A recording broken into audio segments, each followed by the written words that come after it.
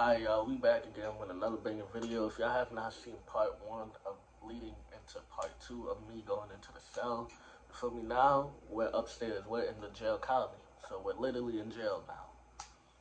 So, there's no getting out, none of that. And it's cold. It's straight cold, bro. So, I'm gonna tell y'all, like, the schedule of, like, the foods and shit like that. So, at 4 a.m., we get breakfast feel me? They wake up. Everybody screaming, everybody breakfast, breakfast. Everybody gotta get up at 4 a.m., man. You go, you eat breakfast, whatever. You feel me? First day, you know, I didn't really get up because I was just like, nah, I'm fucking tired, bro. I've been, you know, in the holding cell since like 2. I didn't get up there since 4 in the afternoon, and I was eating some disgusting ass food. Nah, bro. I'm over here like reminiscing about good food in the outside, I'm like, damn, I gotta get in the outside world because the outside world is not like this. So I'm sitting there, you know, chilling, whatever, you know, cool, whatever. You know, and inmates in there talking about, you know, so, you know, we go back to sleep at 4, right? Then we get up, um, like around 9 o'clock, they let us use the phones or whatever, you know, to make calls to people if you want to make calls, you feel me? You know, you know. So they let you use the phones to make calls. So I'm like, all right, whatever. I don't really got nobody to fucking call. Because mind you, I don't know nobody's number. And they wouldn't give me access to my phone. Because once you get up there, bro, you get access to nothing. So it's like, whatever you got is what you got. So, and plus, they're going to check you again to see if you have anything on you just because, yeah. So literally, I had nothing.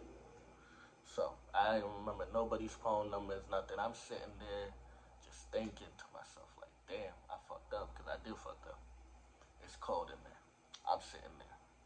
Motherfuckers in there screaming, fighting already. It's day one, bro. Mind you, this is day one, bro. Niggas screaming in there, fighting in there. So, some niggas, right, they started fighting over some dumb shit or whatever. He gets mad at the guard. He gets mad at someone, you know, they're fighting or whatever, you know. I'm over here just chilling, mind you, sitting down talking to some inmates that I met before, you know, because they came up with me. Bro, when I tell you, I'm sitting down there, right, minding my business or whatever. Four or five guards come running, black black jackets, and if you know them black jackets, you know them niggas don't play. Four or five guards come, everybody sit the fuck down, shut the fuck up. So mind you, they're like, everybody get to your bunks now. I'm trying to go back to my bunk, right? Tell me why two, three officers like, what the fuck you doing? Sit the fuck down. Mind you, I felt like a bitch. I really did. So I, I just went back and sat down because ain't nothing I could really do. I mean, shit. I do something, I say something, they gonna beat my ass. And there's no cameras in there. So they could do whatever the fuck they want to do to anybody. So I go back, I sit down, I'm just like, alright, whatever.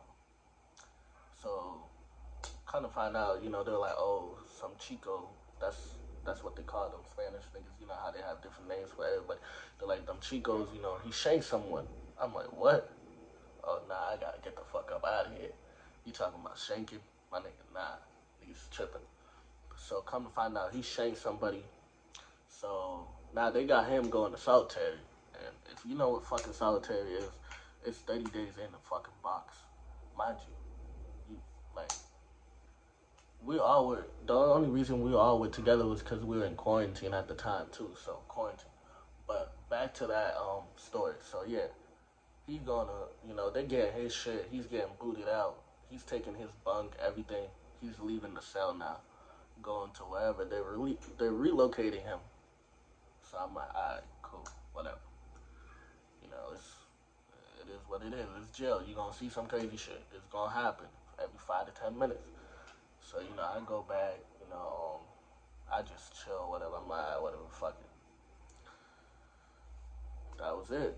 Then, you know, um, we get to watch TV for like a couple hours, bro. When I tell you, bro,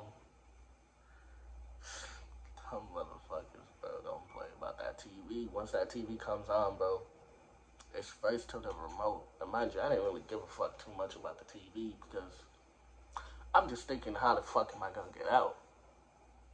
Because you can't see outside. There's no time clock in there. Them motherfuckers ain't gonna tell you what day it is. So therefore, you losing. You basically going crazy. And mind you, this is my first time in there. My first ever charge. So, you know, first time ever in jail. I'm going crazy, bro. And everybody's seeing that. They're all like, this man's losing it. I'm like, hell yeah, I'm fucking losing it. What the fuck? I don't want to be in here with y'all niggas. This is not my type of environment. And them niggas is like, well, you did the crime, so you gonna have to pay for what the fuck you did because at the end of the day, you you was not getting out. You was not getting out. You feel me? Like there was one time where um I seen some nigga he started running, like he was booking it. It was in a different you know area because they have A, B, C. You know on floor one, mind you, there's 16 floors, so there's at least like 2,000 inmates in there. I'm just on the first floor. Crazy. So the nigga's booking it. He's running. He runs right. Four or five niggas running after him. This nigga screaming. We all get up. We all run to the window to see what the fuck's going on. And you know how them niggas flashing the lights, talking about, hey, get your fucking asses back in your fucking bunks and all that shit, bro. We can't say no. We just gotta take it. Cause if you say something, they gonna think you know you re- you retaliating. Like, what's up? Like, them niggas is gonna really like try to fight. And like, yo, the food disgusting. Everything disgusting.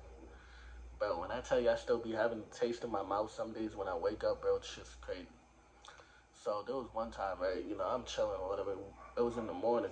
Man, I was at lunch. We had lunch, you know. I'm like, yo, what's for, you know, lunch or whatever. You feel me? Mind you.